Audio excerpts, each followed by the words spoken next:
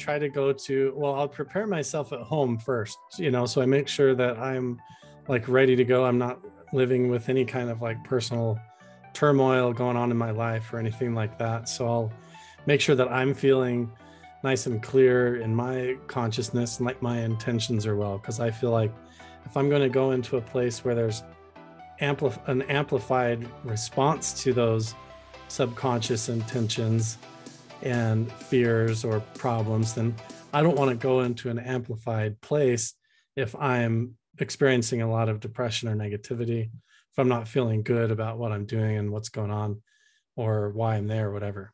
So I prepare myself that way, first of all, and make sure everything feels right. I feel good. And I kind of feel like I really want to go to this particular spot. I'm feeling really curious, almost like passionate about it or inspired to go there. And then when I get there, I continue to follow my intuition, almost like I'm listening to my inner compass a little bit about where to go. And I'll go find like the known petroglyphs or ancient dwelling sites that are there in the area. And then I try to follow my intuition beyond that. And a lot of times that leads to me sitting down in a particular spot, overlooking a view, and then I'll start to meditate. And then from there, it depends on how much like preparation I've done leading up to it. A lot of times I'll just start meditating, and that starts with like trying to just visualize the past or visualize like what was going on here. And I don't try to overlay any kind of assumptions. I almost go into a mindset like you would uh, if you're doing remote viewing. If anybody's familiar with remote viewing, there's an, an opening of your aperture that has to occur. And if you have uh, assumptions that are jumping in there, they call that analytical overlay, to where like a flash might come into your mind, like an image of um, like a, a, waterfall or something like that. And in your mind, you think, oh, there must be a waterfall somewhere nearby. And so you jump to all these conclusions that might not necessarily be true. So you have to just stay open minded and clear to kind of like non physical impressions or uh, little visualizations or uh, epiphanies that come to mind and stuff while I'm sitting there.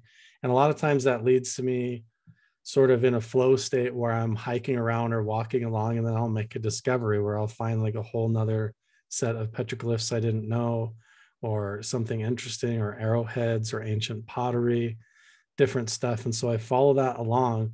And sometimes I'll sit in a spot and get meditating. Next thing I know, the sun's gone down.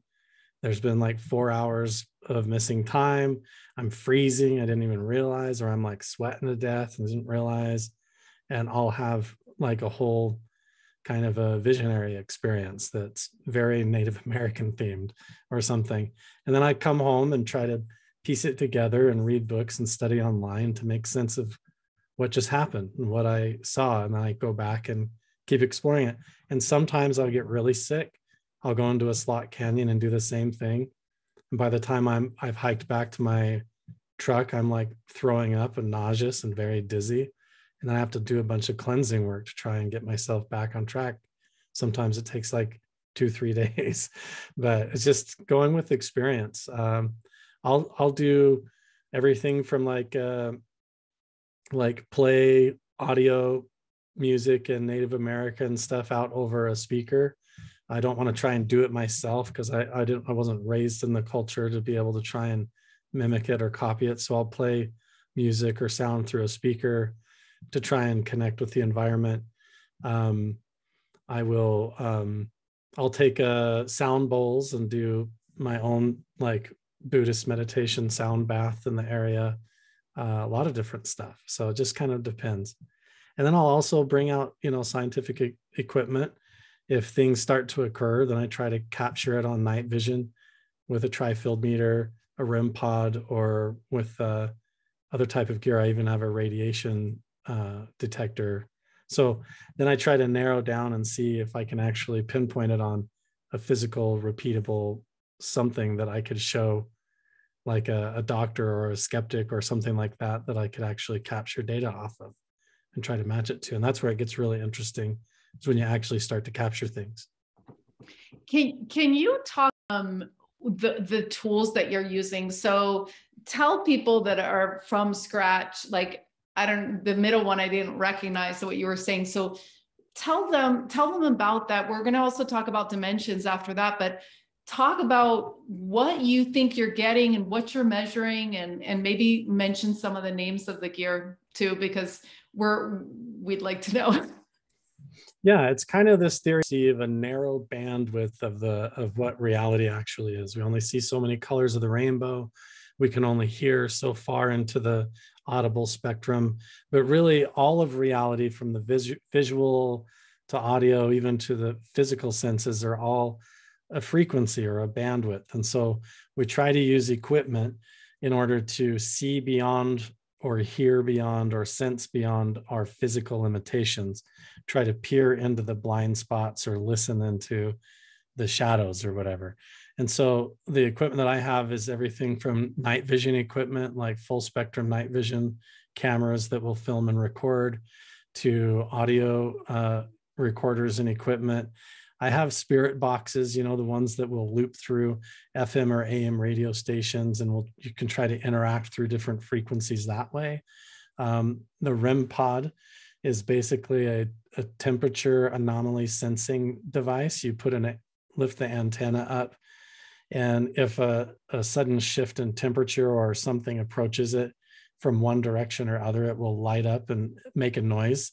So you can actually ask questions and interact with things sometimes like touch touch that antenna three times for no and once for yes or whatever. And you can sometimes ask questions and get interactions. Um, i have a tri-field meter and that's like a sensor that detects electromagnetic fields and uh, radio frequencies and magnetic fields. It's kind of finicky um, and then i also have a radiation sensor that's just straight up uh, detects radiation levels um, as you're walking through an area. So if you hit like a uranium deposit or some kind of anomalous radiation, or if you're seeing a UFO and want to know if it's safe to walk up to, whatever, uh, I have all of that as well. And then, uh, you know, I have friends that have expanded equipment to everything from dowsing rods all the way up to ground penetrating radar and drones. And thermal gear, uh, all kinds of stuff. So, yeah, everything from military grade equipment all the way down to just pseudoscience, paranormal, ghost hunting equipment, and you name it. I even have goggles that are those dicyanin goggles that they make where you're supposed to put them on and it makes you see a certain filtered light spectrum to where you can see shadow figures and stuff. I haven't really seen anything too interesting off of it other than little like light energies moving around but other than that not too much. But yeah it's it's just cool to get a lot of different varieties. So you can if you get find something interesting or an interesting location then you have a, a lot of different ways to check it